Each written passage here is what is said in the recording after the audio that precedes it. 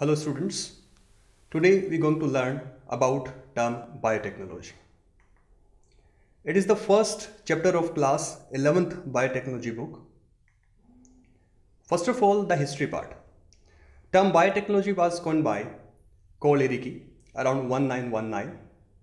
According to him, biotechnology is a combination of two terms, bio plus technology, that is used to serve mankind.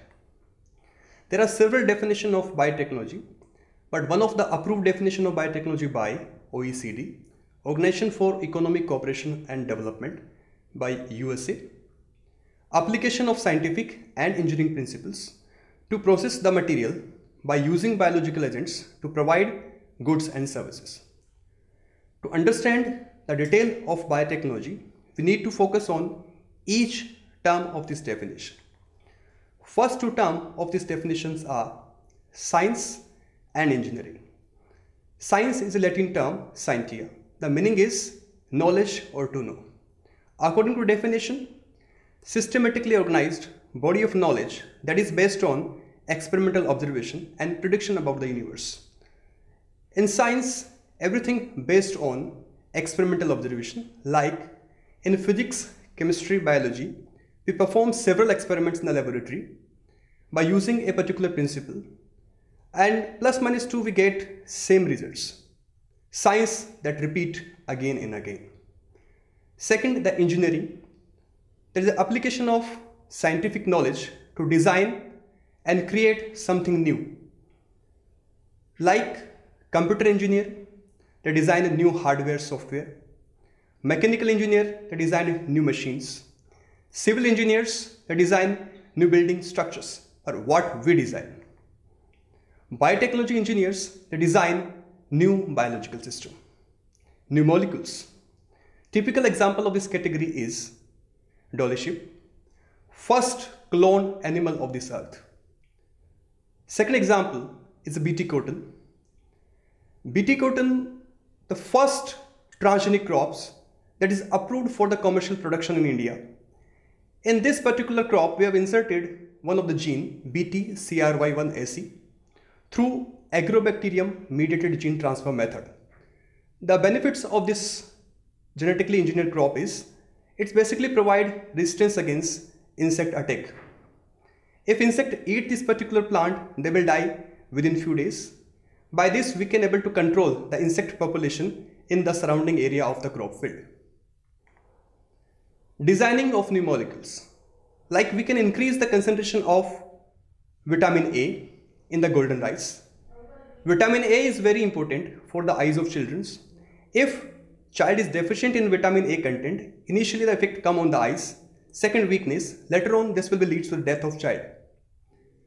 That problem was recognized by UNICEF and by the efforts of biotechnology scientists, we have inserted three genes into the rice genome, Oryza sativa by which the particular pathway of beta carotene synthesis was enhanced and concentration of beta carotene or vitamin A increased into the rice.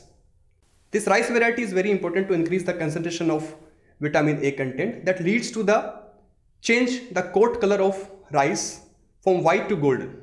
That's why this Oryza sativa or rice variety termed as golden rice.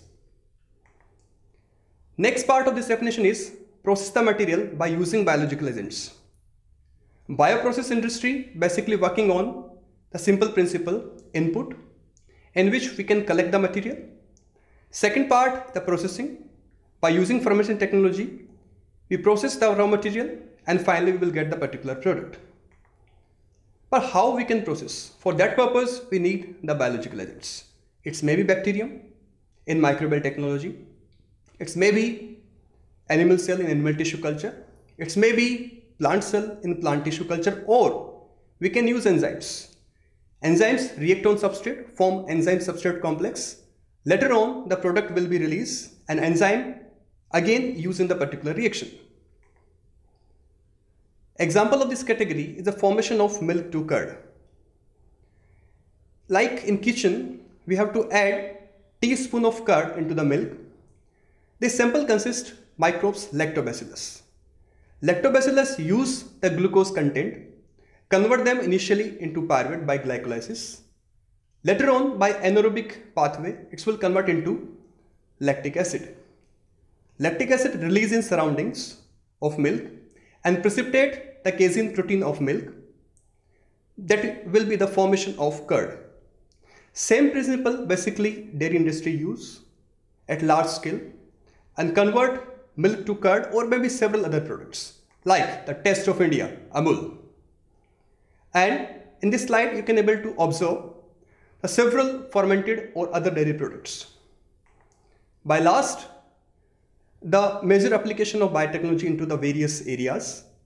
Bioinformatics is also termed as computational biology, used for drug designing or maybe several other applications. Proteomics and genomics, basically used for genome sequencing and other research.